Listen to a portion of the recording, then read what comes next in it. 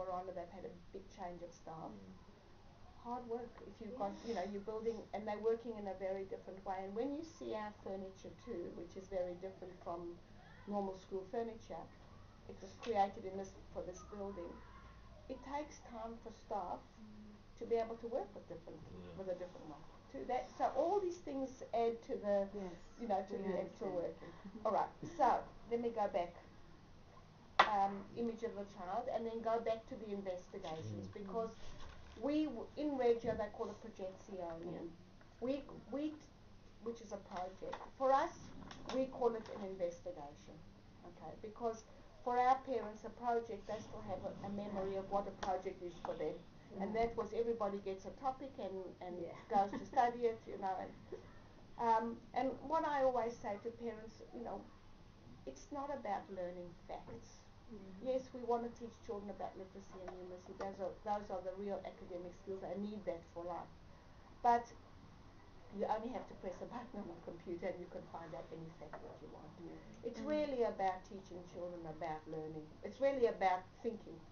And um, there was a conference here in Adelaide this year in Mhm. July, Yeah. Mm. the Reggio conference. Yeah. Did you see we had some? Yeah.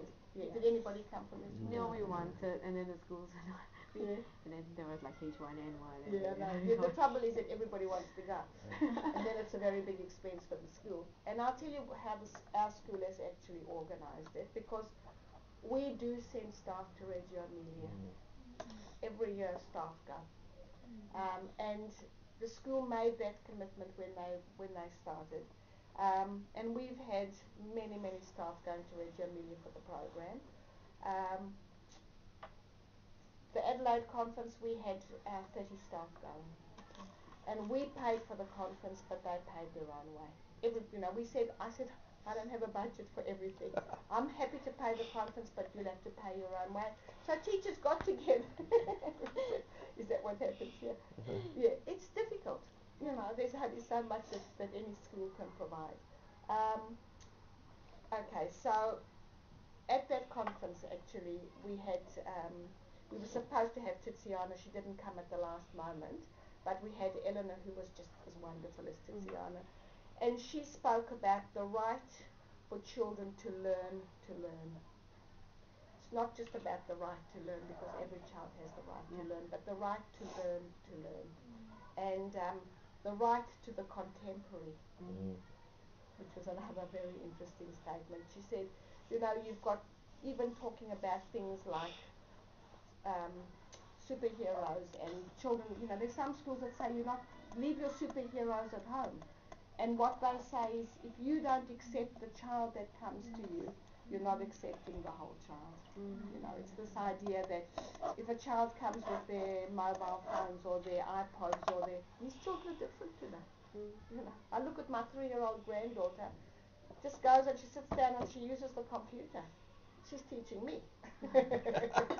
We don't have the same skills in computer as what they do. They they're born with this in their in their heads. I think children are born with different thumbs. so um, investigations. Okay, it should be reciprocal. Okay. You know, it needs to be that you give part, the children give back. It's this, as in Reggio they talk about the bouncing, the throwing of the ball between each other. And um, we call it an investigation because for us it means reciprocity. Mm. Um, I spoke to somebody who said to me, to her, investigation is not the right word. And I said, why? And she said, because to her, an investigation is one person investigating something. And, and that's why the language you build up within your school has to fit with your school language. Okay. You, because for us it is reciprocal. For this person coming, she did not see it as reciprocal. So the language is very important, and that's what's been very important to us in terms of um, Project Zero and the cultures of thinking, is that the whole school is still speaking the same language Yes, that's Mm. very important. very important to speak the same language. Um, okay, so investigations. Investigations can start really from the passion or the interest of children. Um, it can start very much, and it mostly does, from the adults, and that's where you talk about curriculum. Okay.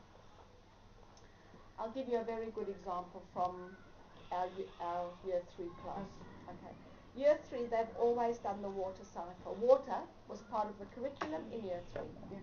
Um, and I know I have three children. They went through the school, and every two years, same thing. They could have taken a project from the one to the other and just handed it back to the teacher. They didn't because they had the, I was their mother, but, but they could, but they could have because Yeah. the teachers decided what are we going to teach the children and how are we going to teach it to them.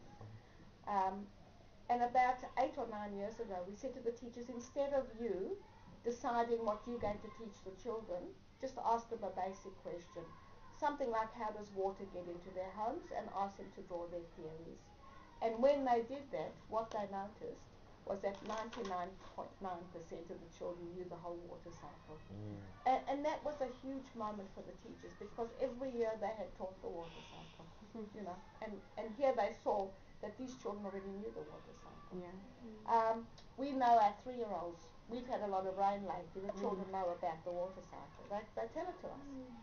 So this idea of waiting until year three to learn something when they already know it when they're three years old. Now water is still part of the curriculum, Yes. but every year it's done in a different way because it's coming from the children. Mm. So one year was a tsunami, drought, flood, sewerage. That was a good one. Yeah. Sewerage. Um, one year was about, you know, we've got a lot of building on the docklands and on, on along South Bank. So ha- what is the difference between the way people live who live now on the water compared to those who live in rural communities? So really authentic, real. It's not just about, you know, a topic. It's about real learning that they do. What the questions that they have in them. Exactly, exactly. You know, Melbourne. Melbourne is always being done as part of year four. Mm. They used to start off going, taking the children on the bus up the Rialto Tower because they could see the whole of Melbourne from the top of the tower. It was all about buildings. Mm. Um, one, one, just recently, one of the children went to Melbourne and he saw a beggar on the street, and he was very moved by that. Came to school talking about the beggars, and that started a whole thing about poverty a- and really bringing it down to poverty in Melbourne. They brought in some, uh, you know, a wonderful man who works with, with street people, people who mm. are living on the streets. So it was real and it was authentic. Mm. And if you can find a topic that or an interest that, that the children are passionate about, you can teach them anything through that. And in fact, every time an investigation for us begins, we will think, what else can we teach through that investigation? It could be um, new maths, measurement, um, you know, science, whatever it is. And, and also, another very important part of it, and this is something that we didn't know for a long time. We're learning more and more because every time we learn more about the Reggio philosophy and the deeper we go into what actually happens there because it's very complex and very deep. The idea of the teacher as learner and what can the teacher learn from this investigation. You know, very important because I, I know that I was in Re- when I was in Reggio a couple of years ago. They were doing, they were looking at maths as a language, Mhm.